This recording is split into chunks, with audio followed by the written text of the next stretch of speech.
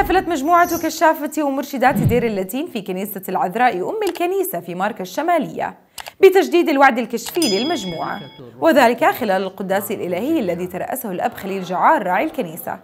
شارك في القداس الأب إبراهيم نفاع المرشد العام لكشافة اللاتين في الأردن.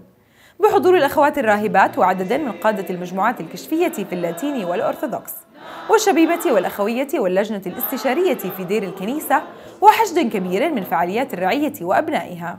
وفي عدة القداس دعا الأب جعار الكشافة إلى حب كنيستهم وترسيخ روح الفضائل المسيحية والروح الأخلاقية الموجودة فيهم وتعزيز انتمائهم وإيمانهم بالله وخدمة الإنسان. أنا كمسيحي بدي أتعلم بدي أشوف ولما بشوف حالي وبلدي محمي بقول للرب شكرا على هاي النعمة. ديم نعمتك علينا. لما بشوف شو بيصير حوالينا باخذ درس. يسوع كمل الدرس أعطاهم مثال التينة. لاحظوا كم مرة يسوع أعطى وجاب سيرة التينة في الإنجيل المقدس. لربما أنه كان يحب التين. ليش لا؟ فواكه حلوة في بلادنا. أعطاهم مثل يسوع شو بقول لهم؟ رجل عنده مزرعة زارع فيها كل أنواع الشجر لكن لأنه بحب التين راح يأخذ يلقط الطين في إيده.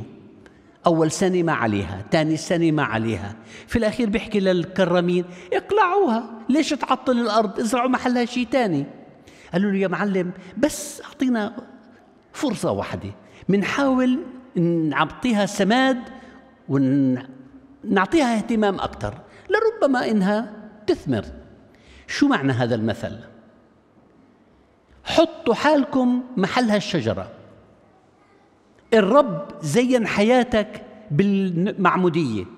الرب زين حياتك بالميرون المقدس بالمسحه المقدسه أنت مختلف عن الكل.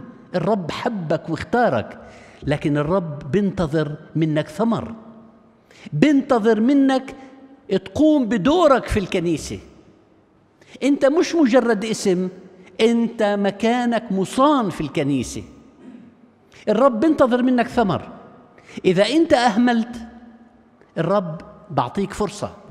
لكن لا تظن إنه سكوت الرب هو نسيان لا. الله يمهل ولا يهمل. الرب بعطيك فرصة. زي ما أعطانا هاي السنة 2022 أعطانا فرصة جديدة. فترة الصيام هي فترة توبة وعودة لله تعالى. تصحيح الاتجاه نحو الله تعالى. لكن كم فرصة راح يعطينا الرب؟ ما بنعرف. الكنيسة بتطلب منا تذكر وكون على حذر. لا تهمل حضور الله في حياتك. لذلك يا إخوتي أتأمل إن شاء الله هذا الصيام المبارك. صلاتنا اليوم بدها تكون للرب. نحن ساهرون.